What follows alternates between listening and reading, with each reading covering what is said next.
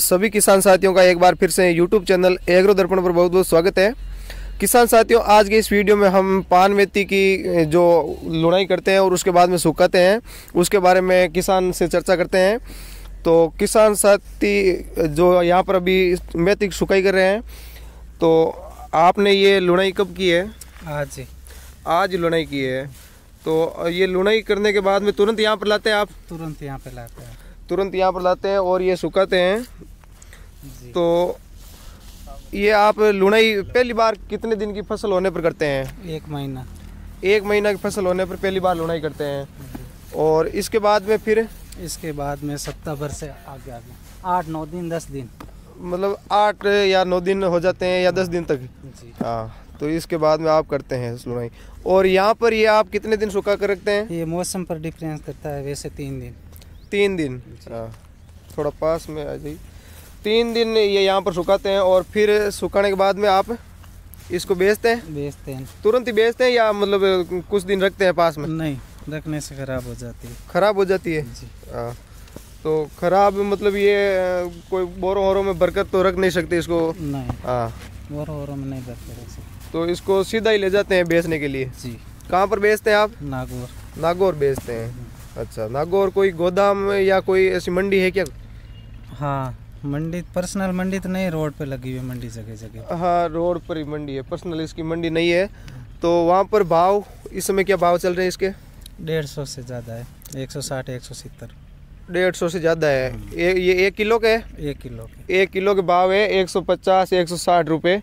और तो ये इस भाव कम नहीं है क्या? नहीं अब की बात ठीक है अच्छे ठीक है भाव है ना? हाँ, अच्छे भाव है। और कई बार ये भाव सो से नीचे आ जाते हैं। हाँ। हम्म, सौ से नीचे नीचे भी आ जाते हैं। तो उस समय मौसम खराब होता तो भी मौसम खराब होता। तो। जैसे अब इसमें एक सौ पचास कोई एक सौ चालीस देते हैं तो वो फ़र्क किस प्रकार रहता है? इन पत्तों में फ़र्क है या किस तरह से फ़र्क है?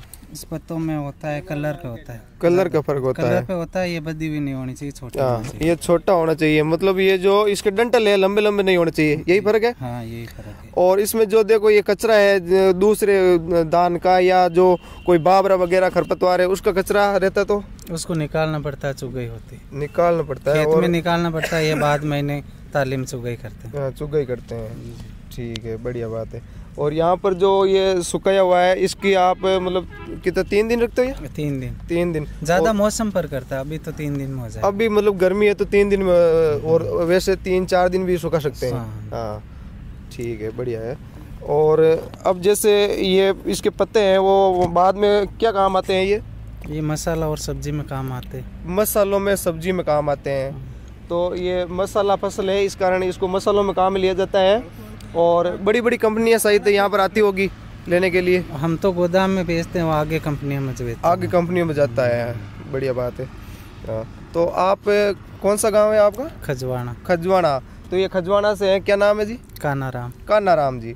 तो ये खजवाना के कान्ना राम जी है जिन्होंने यहाँ पर पूरी डिटेल बताई है पान मेथी की और इनके खेत में चलकर भी हम जो ये मशीन के द्वारा काटते हैं। मशीन से काटते हो आप? मशीन से काटते हैं।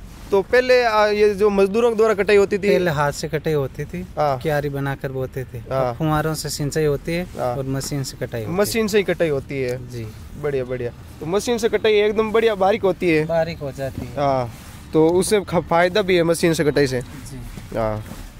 तो यहाँ पर आप देख रहे हैं मशीन से कटी हुई ये पान मेथी है और इसकी सुखाई यहाँ पर चल रही है। सुखा रहे हैं इसको और तीन दिन सुखाएँगे और सुखाने के बाद में इसको नागौर ले जाएँगे बेचने के लिए। फिर ये मसालों के रूप में काम आएगी।